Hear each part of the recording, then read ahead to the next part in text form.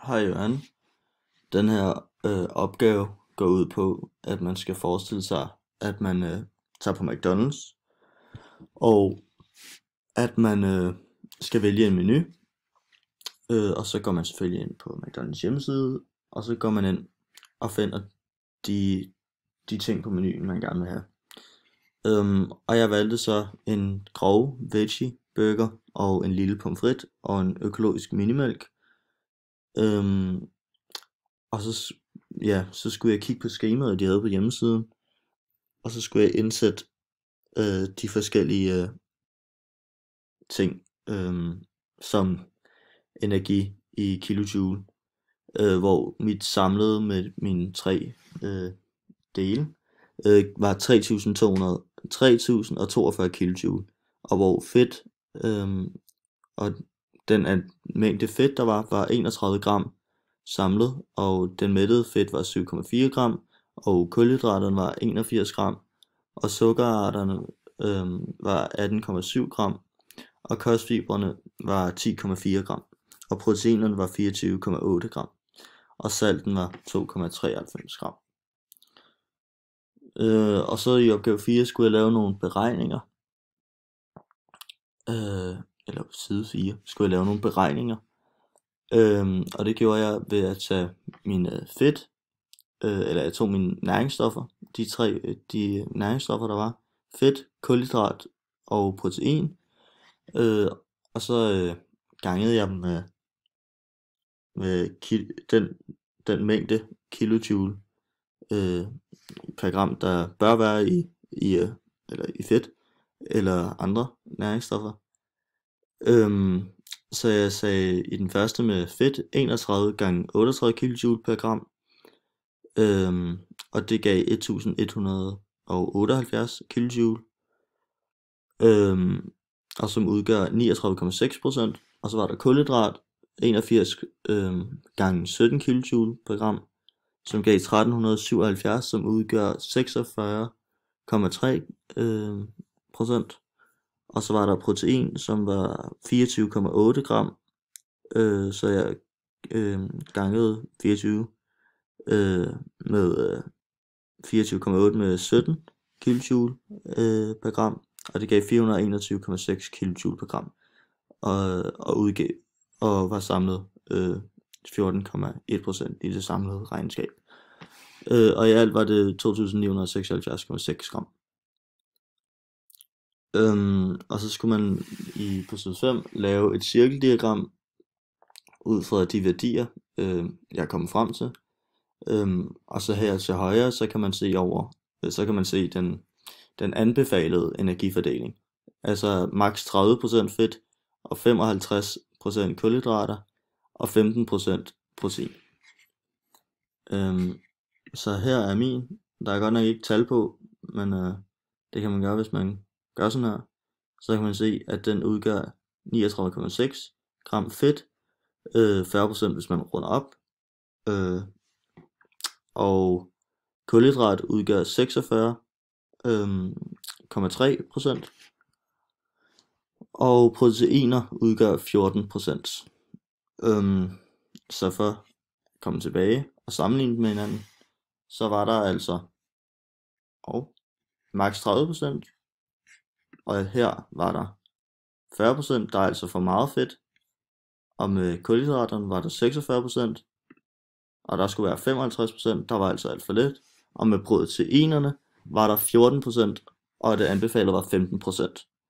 Så det er derfor øhm, rimelig tæt på den protein, men alligevel lidt fra med de to andre næringsstoffer. Så er der øh, opgave 6, som går ud på nogle diskussionsspørgsmål. Øh, og det første, første spørgsmål går ud på, hvad forskellen på kilokalorier og kilojoule er. Øh, så man måler energi i enten kilojoule eller i kilokalorier. Øhm, og kilojoule, det er en mere anvendt øh, metode øh, i dag, øh, fordi den er mere korrekt øh, for energi end kilokalorier er. Og 1 kilokalorie, det er det samme som 4,186 kilojoule. Øh, man bruger ofte kilokalorier i forbindelse med ernæring, øh, og det burde man heller ikke. Øh, og så skal der 1000 kalorier til 1 kilokalorie. Spørgsmål 2. Hvad er det samlede indhold af protein, kulhydrat og fedt i din menu? Øhm, så der var 31 gram øh, og 81, 31 gram fedt og 81 gram kulhydrat, 24,8 gram protein. Øh, og i spørgsmål 3, vurder energifordelingen i dit cirkeldiagram i forhold til de værdier, der anbefales af de danske sundhedsmyndigheder. Se cirkeldiagrammet til højre. Så øh, som jeg nævnte før, øh, så har mit cirkeldiagram altså for, lidt, øh, for meget fedt øh, og en smule for lidt kulhydrater, men øh, hvad angår øh, proteiner, passer det egentlig nogenlunde fint øh, i forhold til, hvad der anbefales af, det danske sundheds, af de danske sundhedsmyndigheder. Øhm, og så spørgsmål 4. Vurder det totale energiindhold i forhold, i forhold til dit anbefalede daglige energiforbrug, som er beregnet på baggrund af din alder, køn og dit aktivitetsniveau.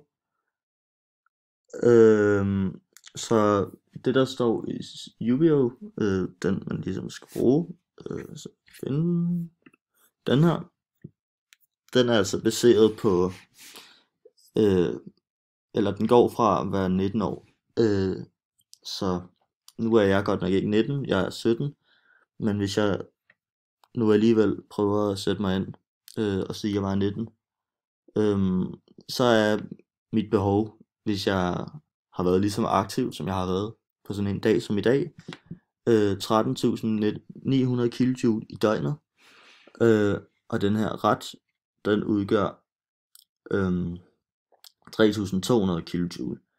Øh, så det er på den måde øh,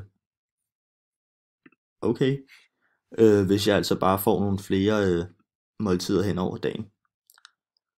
Øhm, så fordelingen af fedt, hvor meget af det fedt, øh, jeg har indtaget ved den her ret, er mættet og henholdsvis udmættet. udmættet. Øh, så næsten en fjerdedel øh, af det fedt, jeg har indtaget, øh, er, er mættet. Øh, som man kan se her, 31 af gram fedt og 7,4 øh, antal øh, gram mættet fedt.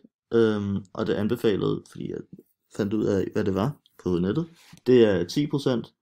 Øh, så derfor er det altså heller ikke særlig godt, da jeg ligger på mellem 20 og 25%. Øhm, og det viser tegn på, at den her mad, jeg har indtaget, øh, var usund. Så spørgsmål 6 hvordan er kulhydraterne fordelt, øh, hvor, hvor meget energien kommer fra henholdsvis sukker og kostfibre. Så kan vi kigge igen. Bum, bum. Her, øhm, sukkerarter, der var den på 18,7 gram, og kostfibre var den på 10,4 gram. Det vil altså sige, at der er næsten dobbelt så meget øh, mange sukkerarter, end der var kostfibre. Øh, og det er jo heller ikke særlig godt overhovedet. Øh, og så er der den sidste, hvor meget salt indeholder dit måltid i forhold til det anbefalede? Og jeg kan sige, fordi at jeg fandt ud af det på nettet, at det anbefalede 5 gram.